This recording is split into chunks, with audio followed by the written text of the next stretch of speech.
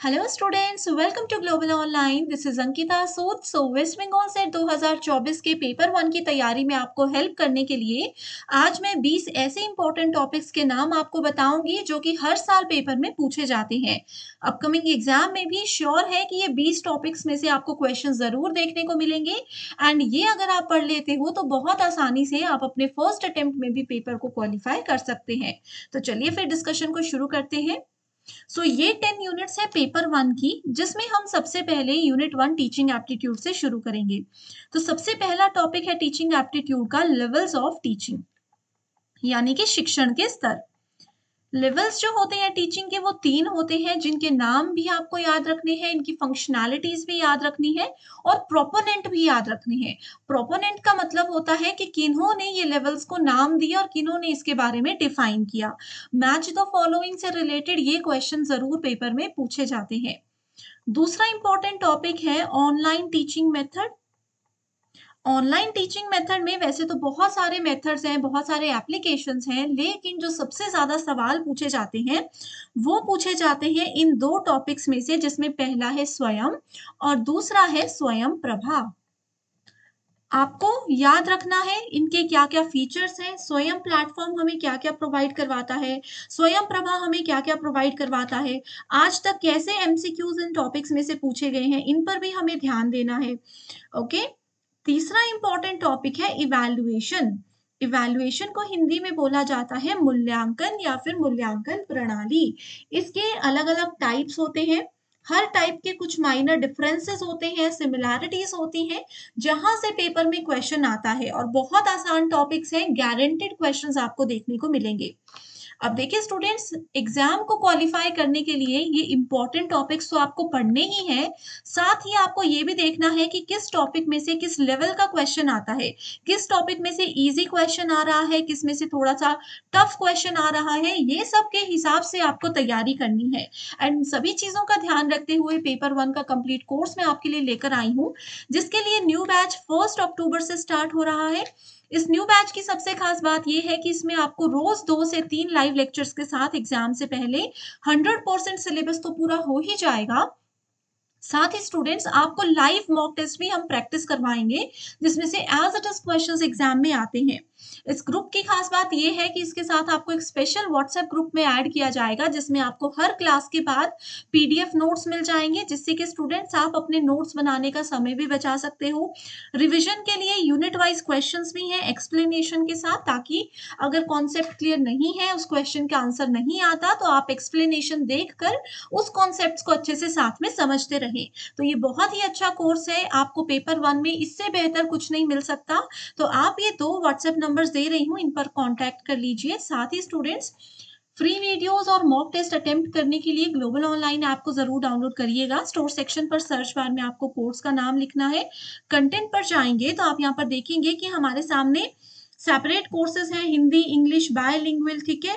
हर एक कोर्स में आप यहाँ पर देखोगे यूनिट वाइज फोल्डर्स आपको मिल जाएँगे। आप चाहो तो किसी भी यूनिट से रिवीजन अपनी शुरू कर सकते हो। रिवीजन के लिए क्वेश्चन बैंक भी यहाँ पर अवेलेबल है। तो आप सभी जल्दी से इन नंबर्स पर कांटेक्ट कर लीजिए। सो so, अगला टॉपिक जो है वो मैं आपको रिसर्च एप्टीट्यूड से बताती हूँ। तो रिसर्च एप्टीट्यूड में सबसे पहले आपको पढ़कर जाना है टाइप्स ऑफ़ रिसर्च जिसमें कि हमारे पास 15 से 20 टाइप्स होते हैं। उनमें थोड़े थोड़े से डिफरेंसेस हैं। हमें पता लगता है कि कौन सा रिसर्च किस फ़ील्ड में यूज़ होता है, किस तरह के शोध के लिए हम कौन सा प्रकार इस्तेमाल करते हैं।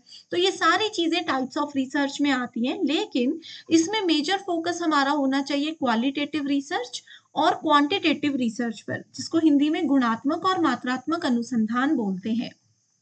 पांचवा इंपॉर्टेंट टॉपिक है स्टेप्स ऑफ़ रिसर्च तो स्टेप्स में आपने सिर्फ़ ये नहीं समझना कि सात आठ स्टेप्स हैं, इनको याद रख लो और हो गया। ऐसा बिल्कुल भी नहीं है। स्टेप्स ऑफ़ रिसर्च में ही हमारे पास कुछ इंपॉर्टेंट टॉपिक्स आते हैं।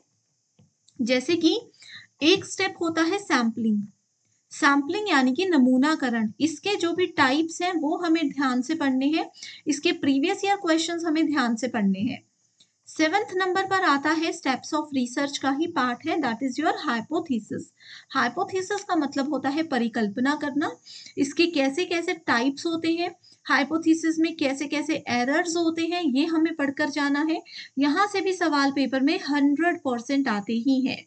तो रिसर्च एप्टीट्यूड में देखो, पाँच सवाल पेपर में आते हैं, जिसमें से चार टॉपिक्स तो मैंने आपको यहीं पर बता दिए।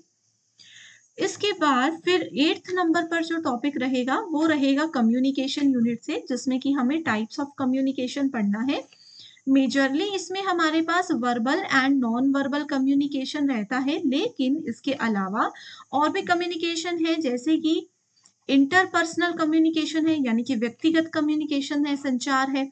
इंट्रापर्सनल होता है व्यक्तिगत, ठीक है? इंट्रापर्सनल है मास कम्युनिकेशन है ग्रुप कम्युनिकेशन है। फिर हमारे पास हॉरिजॉन्टल कम्युनिकेशन है, फिर हमारे पास वर्टिकल कम्युनिकेशन है तो ये सब चीज़ें हमें पढ़कर जानी है। नाइन्थ इंपॉर्टेंट टॉपिक कम्युनिकेशन से आता है बैरियर्स ऑफ़ कम्युनिकेशन यानी कि संचार में बाधाएँ। दो व्यक्ति अगर कम्युनिकेट कर रहे हैं, एक दूसरे से बातचीत कर रहे हैं तो उनके बीच में बाधा क्या हो सकती है? फॉर एग्ज़ाम्पल अगर आप मुझसे बात कर रहे हो, मेरे घर के आसपास बहुत ज़्यादा शोर होता तो क्या हम ये जो वीडियो आप देख रहे हो, इसको अच्छे से देख पाते? कम्युनिकेशन हो पाता? नहीं हो पाता।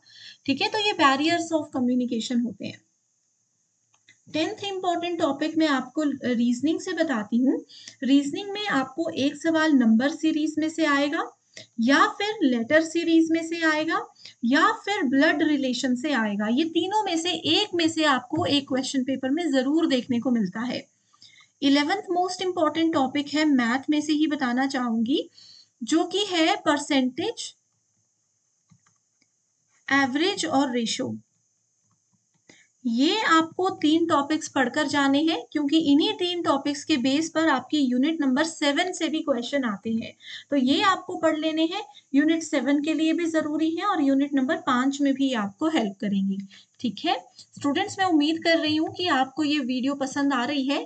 फुल सिलेबस के ट्वेंटी टॉपिक्स अभी तो बता रही हूँ, लेकिन अगर आप चाहते हो कि हर एक यूनिट के एटलीस्ट दस इंपॉर्टेंट टॉपिक्स में आपको बताऊँ हर यूनिट की अलग अलग वीडियो लेकर आऊँ तो वो भी बता सकते हो, मैं उस पर भी ज़रूर काम करूँगी। अगला इंपॉर्टेंट टॉपिक आता है लॉजिकल रीजनिंग में से। इससे आपको क्लासिकल स्क्वायर ऑफ़ ऑपोजिशन ज़रूर पढ़कर जाना है। ठीक है, जिसको हमने ए ओ के कॉन्सेप्ट से पढ़ा था, ये हमें ज़रूर पेपर में आता है। नेक्स्ट टॉपिक भी लॉजिकल रीजनिंग यूनिट का ही है that is your Venn diagram unit number six से वेन डायग्राम से क्वेश्चन आते हैं। और ये एक ऐसी यूनिट है जिसमें स्टूडेंट्स जितना हो सके प्रीवियस ईयर क्वेश्चंस पढ़िए, उन्हीं के बेस पे सवाल पेपर में आएँगे। फोर्टींथ नंबर पर टॉपिक बताती हूँ आईसीटी से। तो आईसीटी में एक टॉपिक होता है मेमोरी यूनिट ठीक है मेमोरी यूनिट भी छोड़िए, सिर्फ़ मेमोरी आपने देख लेना है। मेमोरी के अंदर आता है मेमोरी के टाइप्स टाइप्स में भी आ जाएगा, जैसे हमारे पास प्राइमरी मेमोरी है, हमारे पास सेकेंडरी मेमोरी है, हमारे पास टर्शियरी मेमोरी होती है। ये हमें पढ़ करके जाना है, ठीक है? इसके अलावा फिफ्टींथ नंबर पर होता है आईसीटी की कुछ फुल फॉर्म्स जैसे कि आपसे पूछा जा सकता है कि सीपीयू की फुल फॉर्म बता दीजिए, ये तो बिल्कुल बेसिक मैंने बता दिया समझाने के लिए, लेकिन ऐसे ही फुल फॉर्म्स आ सकती है। सिक्सटींथ मोस्ट इंपॉर्टेंट टॉपिक आपको बताती हूँ people development and environment unit का।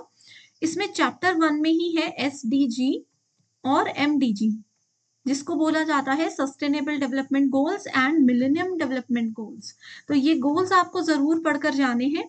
यहाँ से ज़रूर पेपर में सवाल आते ही आते हैं, ठीक है? गोल्स के नाम याद रखने हैं गोल्स का सीक्वेंस भी याद रखना है। उसके बाद फिर सेवनटीन्थ टॉपिक भी पीपल एंड एनवायरमेंट से ही बताती हूँ। तो एनवायरमेंट को लेकर के कुछ बहुत सारे एक्ट्स बनाए गए हैं, बहुत सारे प्रोटोकॉल्स बनाए गए हैं जो हमें पढ़कर जाने हैं।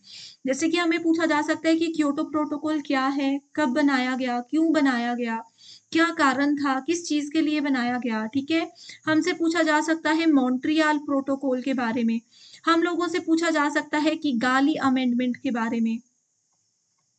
ऐसे बहुत सारे प्रोटोकॉल्स हैं जो हमें पढ़ करके जाने हैं। डोंट वरी स्टूडेंट्स ये जो कोर्स मैंने आपको बताया, ठीक है ऐप में जा करके डाउनलोड करके देख लो। यूनिट वाइज आपको बहुत सारा फ्री कंटेंट भी है। ये देखो, मेरे कोर्स में 59 फ्री वीडियोस अवेलेबल है। तो आप देख सकते हो आइडिया लगा सकते हो कि आपको कितनी ज़्यादा हेल्प करेगी। ठीक है, इन वीडियोस को देख के आपको पता चल जाएगा कि किस तरीके से बेस्ट वे में हम आपको पढ़ाते हैं। सेवनटीन टॉपिक्स हो गए। आगे एटीन टॉपिक आपको हायर एजुकेशन सिस्टम से बताती हूँ, जो कि है N E P twenty twenty ये एक ऐसा टॉपिक है जिसको आपको बिल्कुल भी इग्नोर नहीं करना है, ज़रूर पढ़कर जाना है। उन्नीस नंबर पर आता है एंशियंट यूनिवर्सिटीज़ जिसमें कि प्राचीन भारत की यूनिवर्सिटीज़ हैं, जैसे कि तक्षशिला यूनिवर्सिटी पूछी जा सकती है, नालंदा यूनिवर्सिटी पूछी जा सकती है कि क्या क्या पढ़ाया जाता था। कौन सी यूनिवर्सिटी किस चीज़ के लिए, किस सब्जेक्ट के लिए फ़ेमस थी, ये पूछा जा सकता है। ठीक है? और लास्ट टॉपिक है ट्वेंटियथ टॉपिक है हमारा important commission related to education important commission में जैसे आपसे पूछा जा सकता है कि यूजीसी क्या है? एआईसीटीई क्या है? ठीक है? नेप्टल क्या होता है? उसके बाद ऐसे ही बहुत सारे कमीशंस हैं, ठीक है, जो कि पेपर में ज़रूर पूछे जाते हैं। जैसे कि कुछ और कमीशन है, आपसे पूछा जा सकता है कि कोठारी कमीशन क्या है? यूनिवर्सिटी एजुकेशन कमीशन क्या है? ऐसे बहुत सारे कमीशन हैं, बहुत सारी एजेंसीज हैं, जो कि एजुकेशन को बेहतर बनाने के लिए काम करती हैं और इनके बारे में पेपर में पूछा जा सकता है। तो ये बीस ऐसे टॉपिक्स बता दिए, जो आप बिल्कुल भी मिस नहीं करके जा सकते हो। So thank you so much everyone और भी कोई सवाल है तो अपने नंबर्स यहाँ पर व्हाट्सएप नंबर्स दे रही हूँ। आप इजीली हमें मैसेज कर सकते हो टेक्स्ट कर सकते हो कि वेस्ट बंगाल के लिए आपको हेल्प चाहिए। ठीक है? So thank you so much and all the very best